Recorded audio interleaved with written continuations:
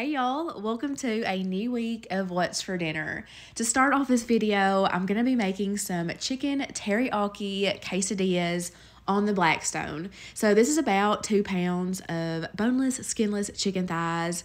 I just chopped that package up into small pieces, removed any like large pieces of fat, and then I transferred that on over to a gallon Ziploc bag where I added a big spoonful of minced garlic and I measured out about a quarter cup of this teriyaki sauce that I'm just going to pour all over the chicken. I sealed up my bag and I'm just to massage that garlic and teriyaki sauce really well into the chicken and I'm just to let that marinate in the fridge for a couple of hours. I'm also to grab a yellow and red bell pepper, get those washed off real good and slice those up into strips. You could also slice up an onion if you wanted to cook that in with your peppers. I did transfer those on over to this little dish for a couple of reasons. For one, it's to make it easier to transport outside, but also I prepped this earlier in the day. So Fast forward to dinner time, I'm going to preheat my Blackstone to a medium heat, and then I'm going to drizzle on a good amount of some canola oil, and I'm just using the back of my spatula to spread that oil out into an even layer. Now I can go ahead and dump out the chicken as well as those peppers. I'm just going to take my spatula and kind of get all that spread out more evenly. You definitely don't want everything clumping up, especially when you have all of that surface area. But I'm going to take that same teriyaki sauce and drizzle a little more over top of the chicken as well as the peppers. I'm also going to go in and season everything with some kosher salt and black pepper. You may think that this chicken doesn't need the kosher salt because teriyaki sauce is definitely on the salty side, but it still does need you know, a little bit of seasoning. We definitely didn't think that it was too salty or anything like that. Everything was really well balanced. So as you can see, I went in, you know, stirred everything up. This all cooks really quickly. Um, so I'm getting everything scooted on over to the left side of the grill where I have the temperature turned down to the lowest setting just to keep it warm. So I don't know if this step was necessary, and you probably couldn't tell, but there was a lot of like teriyaki sauce burned to the grill, and I didn't want it to like affect my quesadillas. So I decided to do like a quick little deglaze. So I just you know, squirted on some water, let that kind of steam off, and I'm using my bench scraper to kind of scrape up the hard bits and just kind of shove it back there in the grease trap and I also went in with a paper towel and gave it a quick wipe down. So I definitely needed to go in with a little bit more oil. Again spreading it out and I have some burrito sized tortillas and I'm going to add down four of those. And I'm also going to be using some provolone cheese. I'm just adding um, a slice to each to half of it um, I don't know if they make blocks of provolone cheese. I'm sure they do, but I've just never seen it. But that would be super nice, or just some shredded provolone cheese. Um, either way, the slices work just as good. But I'm going to start taking the chicken and evenly adding that to the tortillas. It was the perfect amount of chicken to make four quesadillas. And I'm also going to go in with those cooked peppers and add that over top of the chicken. And then I'm going to do a, another layer of the slices of provolone cheese. I also found some sharp cheddar cheese that I had shredded up from another recipe in my fridge that needed used up anyways. So I decided to just pour that over top of them as well. I thought a little extra cheese wouldn't hurt. Um, also worth mentioning, I did turn the temperature down on this side to the lowest setting as well because I did not want to burn my tortillas. I knew that it would take me a bit to get everything assembled. Um, and also when it came time to flip, very easy to do. I just take both spatulas and get those flipped over. I know that when I cook these inside, I like to do quesadillas with butter. It definitely helps brown them. That's the only thing I wish I browned them a little bit more, but I cut those in half, drizzle them with some of this chipotle lime sauce, and I served it with some yellow rice on the side. These quesadillas were incredibly delicious. Love the teriyaki twist to it. Love the char on the peppers. The provolone cheese pairs so well with those flavors, and we love quesadillas anyways, but it was just something different and it was perfect for a quick weeknight dinner. Next up, we are to have a steak night. So, Kroger had a bit of a sale on their steaks. So, I got four strip steaks for $27.70, which definitely felt a little pricey to me, but when you do the breakdown, it's about $7 per steak, which you would pay double for that at a restaurant.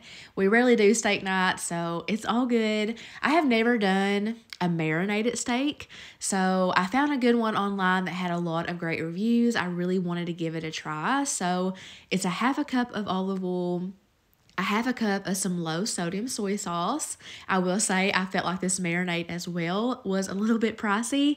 It definitely kind of hurt my soul when I had to like discard what was left over. Um, but anyways, I also did a quarter cup of Worcestershire sauce a quarter cup of some A1 steak sauce. I did um, mince up a few fresh cloves of garlic. I'm doing a teaspoon of some black pepper, two teaspoons of some dried rosemary, it called for two tablespoons of some Montreal steak seasoning, which is what I assumed I had left of this jar, so I just dumped the rest in there. So I'm going to give that a really good whisk. And now I'm going to take those steaks and get those placed into the dish that I want to marinate it in. Once I got those arranged to my liking, I'm going to pour on all of that marinade. Um, probably not necessary, but I'm just kind of flipping those around, making sure everything's nice and coated. And um, I will say, like, I did this earlier in the day. I let these marinate in the fridge all day. So, about halfway um, through the day, I did go in and flip those on over. Um, but yeah, got those covered up. Into the fridge they go. I'm also going to share a really good macaroni and cheese recipe. I used to make this a lot years ago, and I'm mad at myself for not making it in so long because I'm telling y'all, it is delicious. So, to this medium saucepan, I'm melting down a half a stick of butter. I believe this one was salted butter, but you know, anything works. I also added in a quarter cup of some plain all-purpose flour, whisk that together with my silicone whisk and let that cook out for a few minutes. I'm also going in and seasoning this roux with some kosher salt and pepper. You definitely don't want to forget that step because, you know, it's really important in macaroni and cheese. I'm also whisking in two cups of some half and half. The recipe calls for milk, which is what I'm sure I did in the past. That's really good as well but I had some half and half in the fridge that needed used up anyways. And you just know it's going to make for an even richer and creamier mac and cheese. I really like that in this recipe. Um, so while I was waiting for that to thicken up, my macaroni was done, which I use about eight ounces that I boiled up in some salted water, drained it off, and added it to this grease casserole dish. I did hand shred a one pound block of some sharp cheddar cheese, but I'm just going to be using about three cups of it and I poured it directly over top of that hot macaroni. As you can see, this is the consistency that that sauce should be. It's kind of like a country gravy and you're just going to pour that over top of the shredded cheese, kind of spread it out and that's going to kind of help start to melt it down. Just leave it alone for a few minutes and for the last step, I'm going to make a panko topping, which is just a tablespoon of butter and a quarter cup of just some plain panko breadcrumbs and I'm just going to stir that, basically toast up the panko until it's golden brown. So I had Josh over there on the stove stirring that while I did this step. So um, I started off with a spoon, but I got nervous that I would break up the pasta. So I switched on over to a um, like silicone spatula. And basically, I'm just stirring it all together, making sure that all the pasta is coated in that sauce. Don't worry too much about that cheese melting down because we are going to finish this off in the oven. But once I got that to my liking and kind of smooth out on top, I'm just taking my spoon and I'm kind of spooning over that toasted panko topping. You definitely don't have to do this step, but we really, really like the addition of it.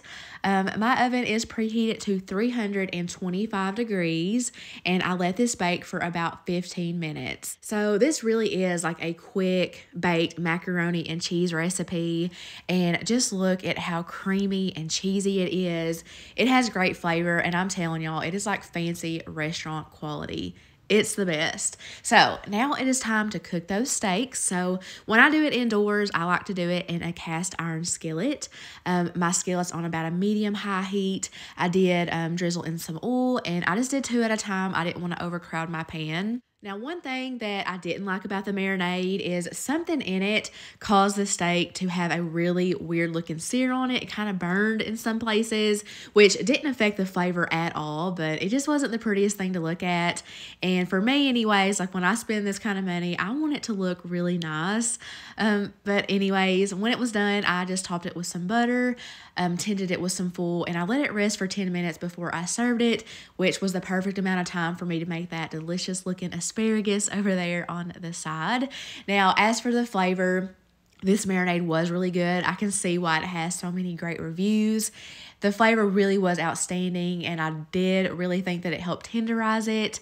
Um, I just don't know how often I would do it because I really didn't like having to pour the rest out, like I said earlier. But um, I would do it again. It tasted great, and it was a delicious dinner. Up next, I'm going to finally make something that I have had on my like to-do list for several years now. Now, soup beans is something that I was raised on. That's not uncommon at all, but I've never done it with dumplings cooked in with it. So, I have a 1 pound bag of some dried pinto beans and I'm just getting those laid out on the counter and I'm just sorting through those, making sure that there's nothing crazy in there and just kind of picking out the bad beans. Now, the recipe and inspiration that I am using for this this comes from Phyllis Stokes.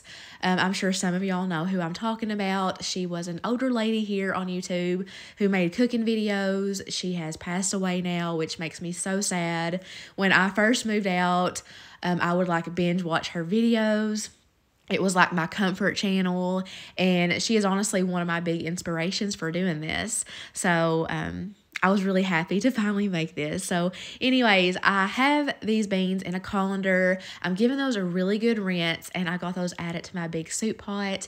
Got those covered with water, and I'm just going to bring those up to a boil. Um, as you can see, it's not like a really hard bowl, just a simple, you know, easy bowl. And I'm going to let those cook for 10 minutes and then I'm going to drain off that water and give those another really good rinse. And I didn't show it, but I also rinsed out my pot really well then I got it added back to the pot, got clean water in there, and I'm going to repeat this process two more times. And, you know, I will have her video linked in my description box if you want to know her reasoning for all this and, you know, her method. But here's the final cook time.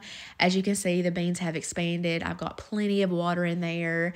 And once I got that brought back up to a boil, I ended up letting it cook for about another two hours, is what it took for my beans to get tender.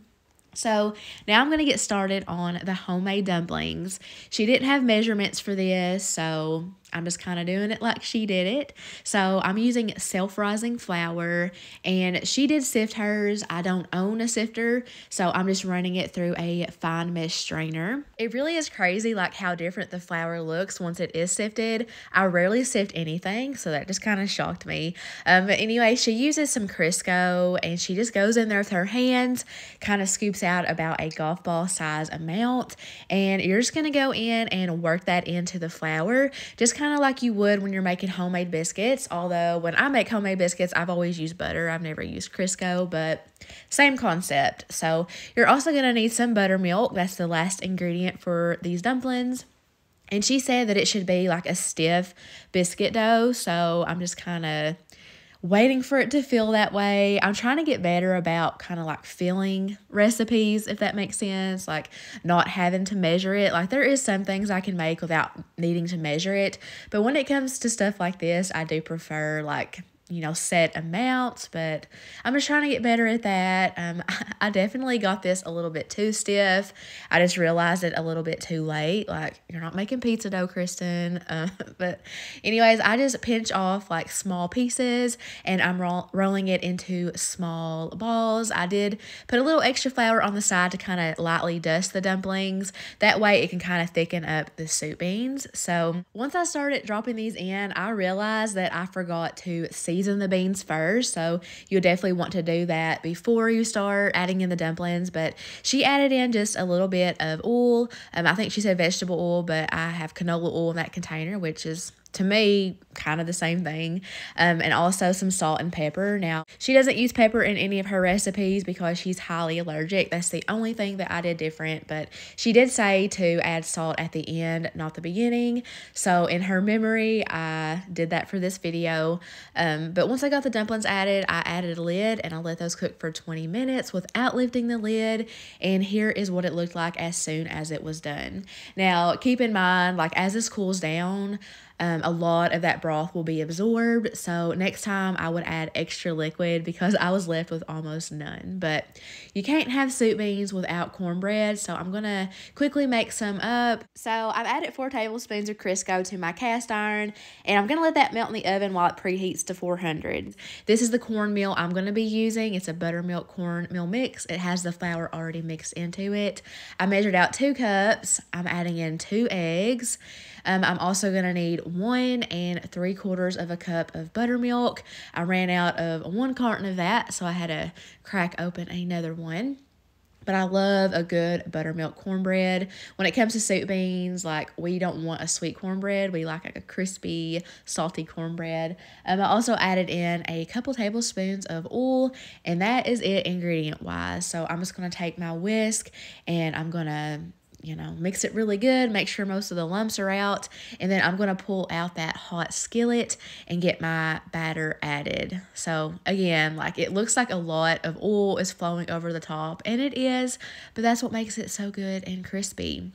So I'm going to bake that for about 25 minutes. To be honest, I could have let it go for another five minutes to let it get a little bit more golden brown on top, but I was in a rush. We had ball games this night and I was pushing time. Um, and then for the last side, I had some frozen okra in my deep freezer. We have never had okra before. It's something I've been wanting to try.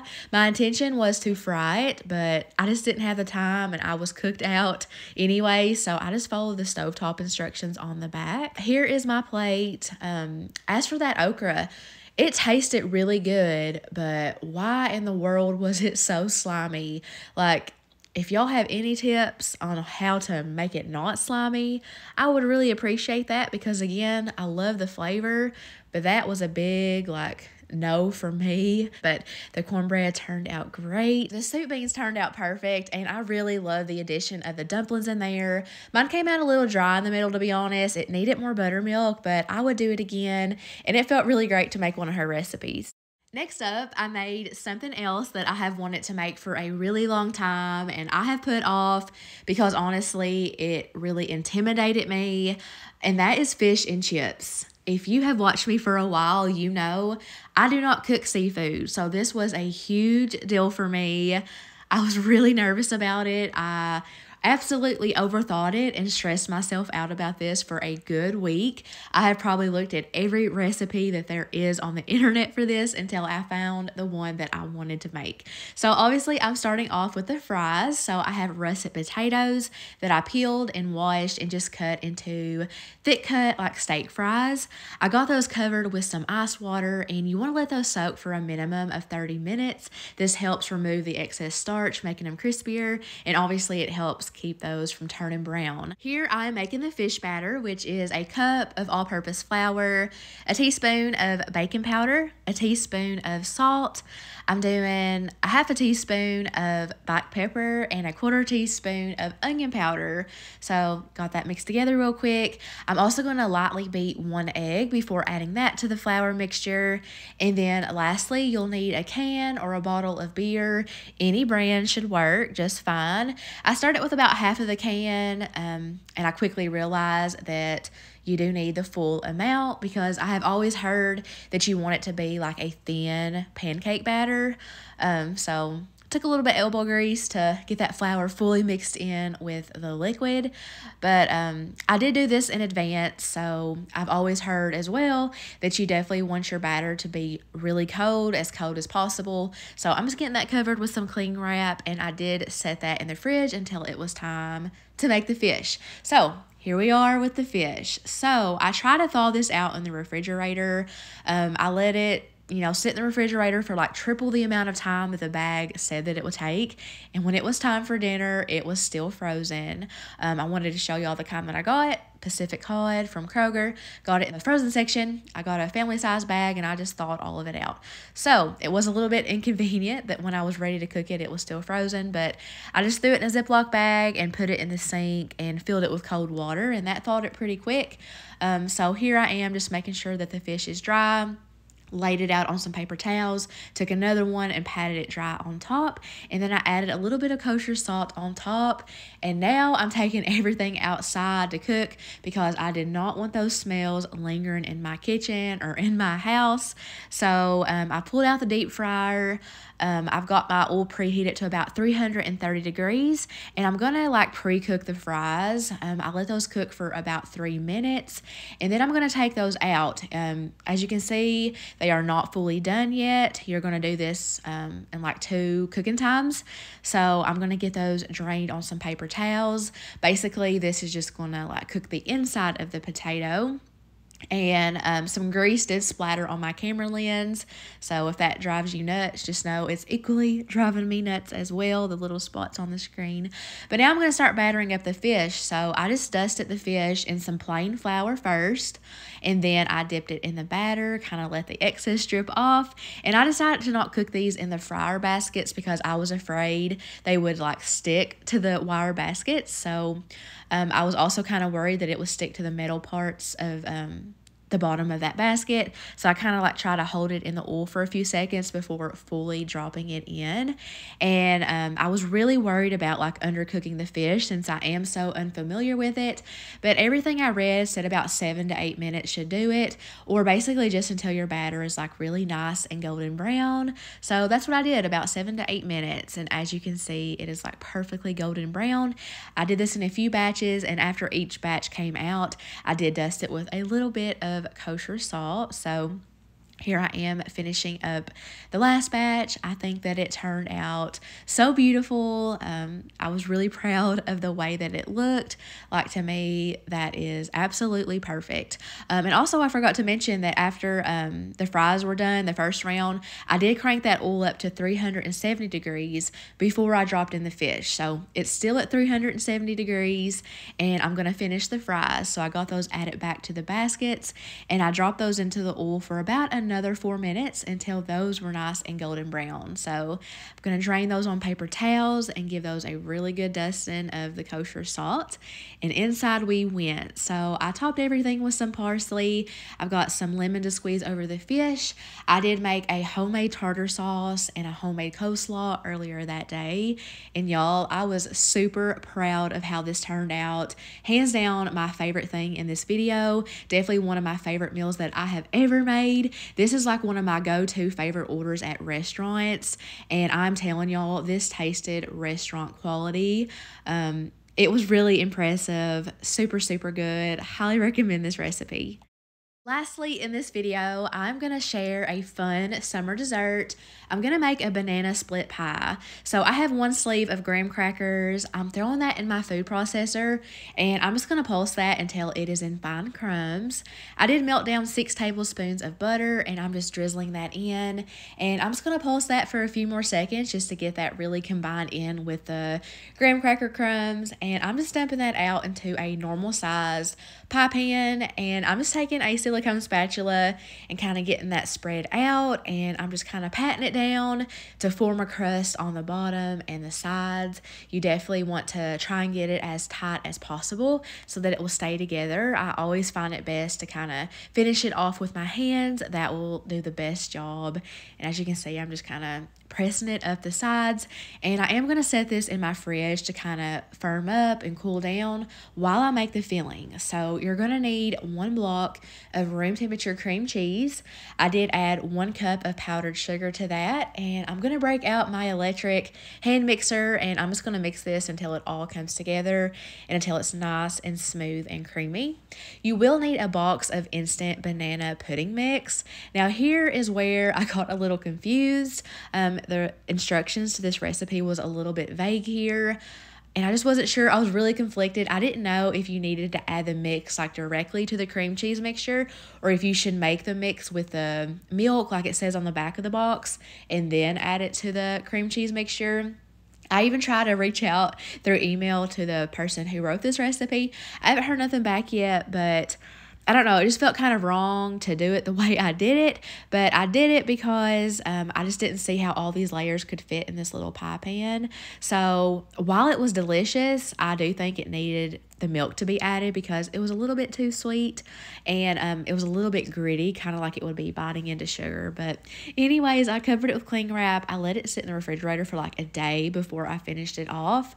Um, and then I just did a layer of bananas and a layer of some drained crushed pineapple. Obviously, I didn't drain it good enough because I could see some of the pineapple juice kind of piling up. So, you know, I make lots of mistakes. I'm human, y'all. But I just kind of tilted the pie pan, drained that off some more, and it turned out just fine. Um, I did a layer of Cool Whip, and I also took this jar of hot fudge and I microwaved it to make it easier to drizzle. And I'm just doing a few tablespoons of that and just kind of, you know, trying to make it pretty on top. And I'm also going to take some of these like chopped walnut pieces, sprinkle that all over the top. And then lastly, I'm going to hit it with some of these like just jarred cherries. And I think that looks super pretty um, looks delicious. Like this would be perfect to bring to a summer cookout. Um, I wanted to make sure to cut into it for y'all so y'all can kind of see the inside and the layers. Um, while I probably made some mistakes, it still turned out really delicious. We really enjoyed it and it's definitely worth sharing with you guys. So um, if you made it this far in the video, thank you so much for watching. I hope you enjoyed this video. I stepped out of my comfort zone a little bit. Um, pat myself on the back for that one. But yeah, I hope that all of you have a great rest of your week, and I will see you guys in my next video.